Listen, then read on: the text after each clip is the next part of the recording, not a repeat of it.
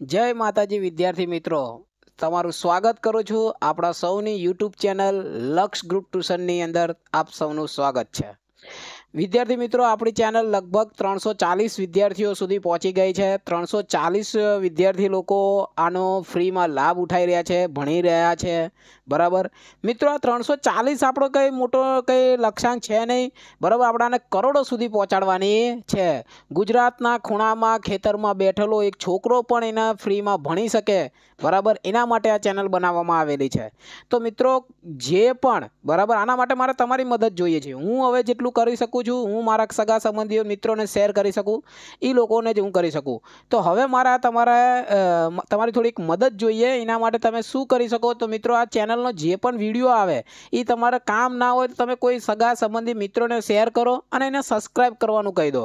Subscribe કેવી રીતે થાય એ ના ખબર પડતી હોય તો અહીંયા આગળ હું તમને ચેનલની અંદર, મારા મોબાઈલની અંદર બતાવું છું. કે આ યુટ્યુબ છે, હું આ યુટ્યુબની ઉપર ક્લિક કરું છું. બરાબર?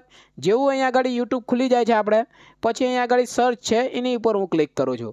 આની અંદર તમારે ખાલી એલ લખવાનું એલ એ એક્સ બરાબર? લક્ષ લખશો, એટલે લક્ષ ગ્રુપ ટ્યુશન અહીંયા મારે વારંવાર સર્ચ થયેલું, એટલે ઉપર આવી ગયું, તમારે ના આવે તો આખું આખું લક્ષ ગ્રુપ ટ્યુશન લખવાનું છે. અહીંયા મેં લક્ષ ગ્રુપ ટ્યુશન લખી કાઢ્યું અને સર્ચ કરું છું. અહીંયા પહેલી જ ચેનલ મારી લક્ષ ગ્રુપ ટ્યુશન લખેલું આવી ગયું છે. બરાબર? એની ઉપર અહીંયા આગળ પહેલાં સબસ્ક્રાઈબ હતું જ, તો આને હું પહેલાં અનસબસ્ક્રાઈબ કરી દઉં છું. બરાબર? પાછું અહીંયા આગળ હું ક્લિક કરું છું. હવે અહીંયા તમે જોઈ રહ્યા છો બરાબર અહીંયા વીડિયો ચાલુ છે. તો મિત્રો હવે તમારે શું કરવાનું? અહીંયા આગળ આની પર ક્લિક કરીને બી તમે સબસ્ક્રાઈબ કરી શકો છો. અથવા કોઈ વીડિયો તમને વોટ્સઅપમાં આવેલો હોય કોઈ ભાઈબંધે શેર કર્યો તો એની પર તમારે ખાલી વીડિયો ઉપર ક્લિક કરી દેવાનું. બરાબર? અહીંયા આગળ વીડિયો ઉપર તમારે ક્લિક કરી દેવાનું. વીડિયો ઉપર ક્લિક કરશો એટલે અહીંયા આગળ તમારે અહીંયા સબસ્ક્રાઈબ લખેલું આવી જ જશે. તો એની પર ક્લિક કરશો એટલે સબસ્ક્રાઈબ થઈ જશે. મિત્રો, હવે સબસ્ક્રાઈબ તો થઈ ગયું. બરાબર? ફાયદો શું? સબસ્ક્રાઈબ કરવાનો. બરાબર? અહીંયા નોટિફિકેશન બોલ તમે ઓન કરશો એટલે કોઈ પણ નવા વીડિયો આવશે તો એને ખ્યાલ આવી જશે. બરાબર? આટલું તમારે એને કરવાનું કહી દેવાનું છે. બસ આટલું બે મિનિટનું કામ છે મિત્રો, બીજું કશું ખાય ખાસ કામ છે નહીં. પરંતુ મિત્રો સબસ્ક્રાઈબ કરવાનો ફાયદો શું? આ હવે સબસ્ક્રાઈબ થઈ ગયું છે ને, તો સબસ્ક્રાઈબ કરે. જેને જોડે તમે સબસ્ક્રાઈબ કર્યો છે, જેના મોબાઈલમાં તમે સબસ્ક્રાઈબ કરાવ્યું છે, એને ગમે ત્યારે હું નવો વીડિયો નાખીશ. હું પહેલા ધોરણથી લગાવીને બારમા ધોરણ સુધીના વીડિયો મારા ચેનલની અંદર મૂકવાનો પ્રયત્ન કરતો જ રહું છું. બરાબર? જેથી આપણે દરેક ધોરણનો વ્યક્તિ અહીંયા ભણી શકે. તો આપણે વધારે પડતું બોર્ડ ઉપર વધારે ફોકસ હોય છે, પણ ધીમે ધીમે આપણે નાના સ્ટાન્ડર્ડનું પણ ભણાવવાનું ચાલુ થઈ ગયું છે તો એના પર વીડિયો બનતા જશે. તો ખાસ કરીને ગણિત, વિજ્ઞાન જે અઘરા સબ્જેક્ટ લાગે છે ઇંગ્લિશના આ બધામાં વધારે વીડિયો બનતા હોય. તો એ વિદ્યાર્થી અહીંયા ઘરે બેઠા ભણી શકશે. બીજું ગમે સબસ્ક્રાઈબ કરેલું છે એટલે એને તરત જ પહેલાં ખ્યાલ આવી જશે. અને સબસ્ક્રાઈબ કરવાથી અમને ફાયદો એ છે મિત્રો, અમારો અંદરથી ઉત્સાહ વધે છે, અમને આનંદ વધે છે. એટલે અમે વધુ સારો વીડિયો બનાવવાની કોશિશ કરીએ છીએ. એટલે મહેરબાની કરીને સબસ્ક્રાઈબ કરી દેજો. જય માતાજી. અમારો વીડિયો જોવા બદલ ખૂબ ખૂબ આભાર તમારો.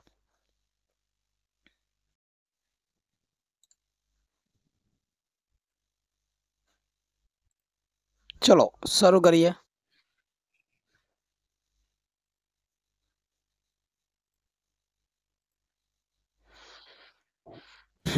આજનો આપણો વિષય છે ઇંગ્લિશ ગ્રામરની અંદર અથવા ઇંગ્લિશ જે શીખીએ છીએ એની અંદર ધીસ અને ધેટ વિશે.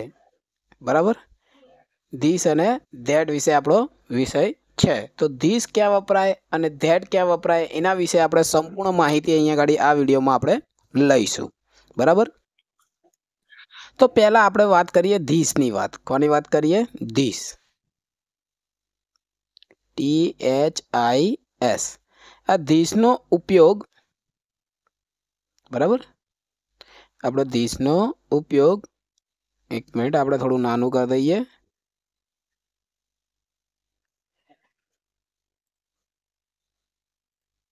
ઓકે.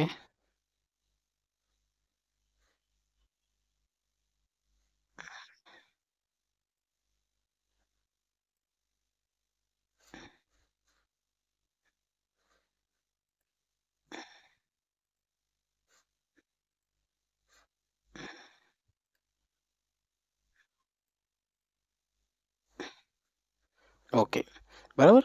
હવે તમને દેખાતું હશે સ્ક્રીનની અંદર. બેટર રીતે.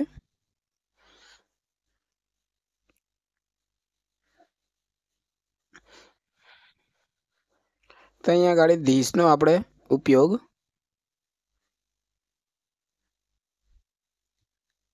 ઉપયોગ ક્યાં થાય? તો ધીસનો ઉપયોગ મિત્રો, બરાબર? કોઈ પણ વસ્તુ બરાબર? નજીકની કોઈ પણ વસ્તુ બતાવવા માટે, બરાબર? દાખલા તરીકે કોઈ એક વસ્તુ છે, નજીકની કોઈ પણ વસ્તુ, બરાબર? નજીકની કોઈ પણ વસ્તુ બતાવી હોય કે કોઈ વ્યક્તિ તમારે બતાવવો હોય, નજીકમાં કોઈ ઊભો હોય, બરાબર? અથવા કોઈ નજીકનું સ્થળ બતાવવું હોય, બરાબર? પછી તમારે કોઈ પ્રાણીનું કંઈ બતાવવું હોય, આવું કોઈક નજીકની કોઈ વસ્તુ બતાવવા, બરાબર કોઈ વ્યક્તિ કે સ્થળ બતાવવા માટે આપણે ધીશનો ઉપયોગ કરીએ છીએ. આનું એક એક્ઝામ્પલ જોઈએ આપણે. દાખલા તરીકે અહીંયા હું લખું છું. બરાબર? થોડુંક આગળ કરીએ અને લખીએ. બરાબર? કે એક ઉદાહરણો લખીએ. કે હવે આ પેન છે. શું છે? મારા હાથમાં શું છે? તો કે આ પેન છે. પહેલું ઉદાહરણ લખું છું. આ એક પેન છે. તો હવે આ પેન છે એટલે મારા હાથમાં જ છે એટલે એકદમ નજીક છે. તો આના માટે શું વપરાય તો કે ધીસ ઇઝ અ પેન. બસ, ફિનિશ, મિત્રો. તો અહીંયા ધીસ વપરાય કારણ કે વસ્તુ નજીક છે. બીજું કોઈ એક ઉદાહરણ વિચારીએ. તો આ એક રમકડું છે, બરાબર? આ એક બરાબર? રમકડું છે. તો પાછું નજીક છે રમકડું, બરાબર? ધીસ ઇઝ બરાબર? અ રમકડું એટલે ટોય. તો અહીંયા આ એક રમકડું છે. એવી રીતે આ એક શું કહેવાય? આમ જોઈએ તો બીજું એક કહીએ કે આ એક સાયકલ છે. બરાબર? આ એક સાયકલ છે. પછી બીજું એક એક્ઝામ્પલ હું બોલું છું કે આ એક સંચો છે, આ મારો, આ કંપાસ છે.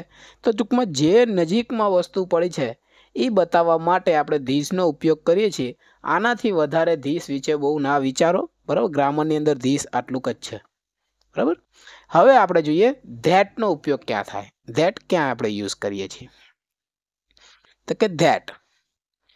T H A T બરાબર? ધેટની જોડે ઇઝ વપરાય. બરાબર? પછી આર્ટિકલ જે એ કે એ એન આવે એ તમારે વાપરવાના હોય છે. તો ધેટનો ઉપયોગ દૂરની વસ્તુ બતાવવા માટે. બરાબર? દૂરની કોઈ પણ વસ્તુ બતાવવા માટે. દૂરની કોઈ પણ વસ્તુ બતાવી હોય કે કોઈ વ્યક્તિ બતાવવો હોય તમારે, કોઈ વ્યક્તિ ઊભો હોય તો એને બતાવવું હોય અથવા કોઈ સ્થળ બતાવવું છે કે ભાઈ વાસણા, અમદાવાદ, બરાબર? પેલું અમદાવાદ છે, પેલું વાસણા છે, બરાબર? આવું કોઈ સ્થળ બતાવવાનું હોય કે કોઈ ત્યાં આગળ પેલું ટાઈગર ઊભો છે, પેલું સિંહ ઊભો છે, તો કોઈ પ્રાણી બતાવવાનું હોય. આવું દૂરનું કોઈ વસ્તુ, વ્યક્તિ કે સ્થળ કે પ્રાણીઓ આ દર્શાવવા માટે આપણે ધેટનો ઉપયોગ કરીએ છીએ. હવે હું બે ઉદાહરણ અહીંયા લખું છું. કે પેલી એક ઢીંગલી છે. અહીંયા હું લખું છું, જોજો. પેલી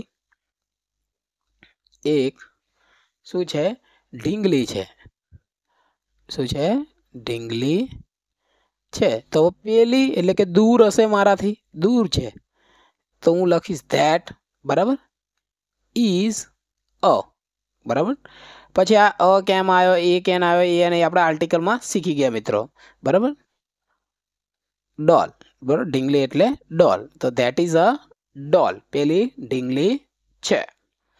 પછી લખીએ એક વાક્ય બીજું પણ વિચારીએ. તો કે પેલો કૂતરો છે. પેલો એક કૂતરો છે. બરાબર? પેલો એક કૂતરો છે. મિત્રો, એક લખવાનું ભૂલી ગયો છું. બરાબર? આપણે અહીં લખી શકીએ. એક કૂતરો છે. તો ધેટ ઇઝ અ બરાબર? ડોગ શું ધેટ ઇઝ અ ડોગ તો આવી રીતે આપણે પેલો કંપા બરાબર? પેલા મારા મિત્રો છે, પેલા મારા સર છે, બરાબર? પછી કે પેલી અમારી સ્કૂલ છે, ત્યાં પેલું અમારા વડનું ઝાડ છે, પેલું અમારું બાઇક છે, પેલી અમારી ગાડી છે. આવી રીતે તમે કોઈ પણ વાક્ય વિચારી શકો છો. ધેટનો ઉપયોગ ખાલી દૂરની વસ્તુ બતાવવા માટે થાય છે. કોઈ કબૂતર દૂર ઉડે છે, તો આપણે એવું બોલશું કે પેલું કબૂતર ઉડે છે. પણ જો એ કબૂતર અહીંયા નજીકમાં તમે એને કોઈ દાણા નાખી રહ્યા છો, તો તમે એવું કહેશો કે આ કબૂતર દાણા ખાય છે. તો આ શબ્દ તમે નજીકમાં વાપરો છો અને પેલો શબ્દ તમે ધેટમાં વાપરો છો. એ જ દૂરમાં વાપરો છો. એવી જ રીતે ઇંગ્લિશની અંદર નજીક હોય તો ધીસ વપરાય છે અને દૂરની વસ્તુ બતાવવા માટે ધેટ વપરાય છે. આટલું સિમ્પલ છે. ગુજરાતી ગ્રામર જોડાને થોડું સરખાવશો એટલે તમને ખ્યાલ આવી જશે. આશા રાખું છું વીડિયો પસંદ આવ્યો હશે તો લાઈક